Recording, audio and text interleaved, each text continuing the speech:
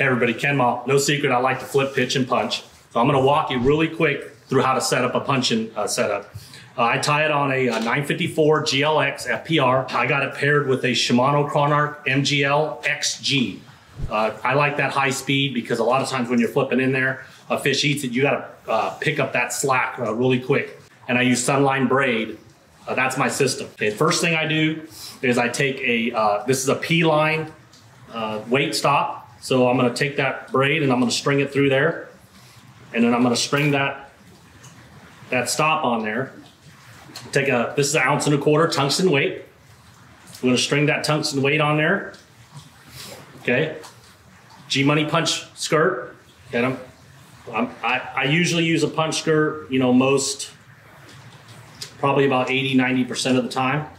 Okay, so we have, we have stop, weight, skirt, um, my favorite hook to use is a uh, 4-aught or 3-aught Gamakatsu super heavy line.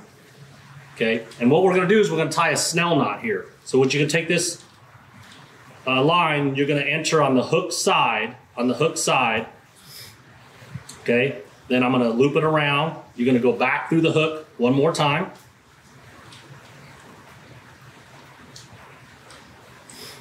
And then you're gonna take this whole thing and I'm gonna pull this tag in just past the hook here, and I'm gonna pinch, I'm gonna pinch down on all this so it doesn't go anywhere.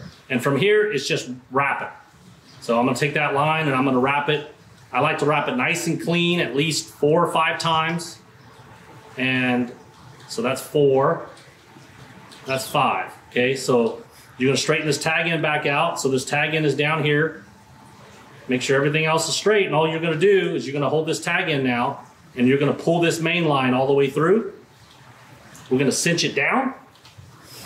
And that's a snell knot right there. And the last thing I like to do is I'll clip this weight to my rod and I'll take this marker, it's a big Marks Lot marker, and then I'll take it and I'll mark this line uh, all the way up to exactly six feet. What that does for me is it, it uh, gives it camouflage and then it also tells me exactly what depth my bait is in when I'm fishing. So there's your standard uh, punch and setup. Tie one on and go catch some big ones this spring.